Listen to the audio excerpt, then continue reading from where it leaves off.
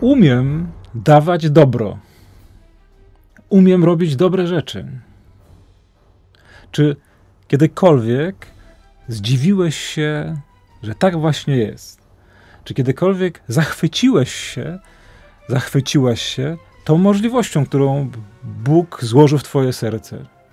Dzisiaj Jezus mówi: Jeśli wy, choć jesteście źli, potraficie czynić dobro, to jest takie spostrzeżenie Jezusa, które warto jest podchwycić, które warto jest sobie samemu przypominać, zwłaszcza gdy stajemy wobec tych wszystkich wewnętrznych wątpliwości, rozterek i oskarżeń, że je, za cokolwiek się wezmę, na pewno to zepsuje.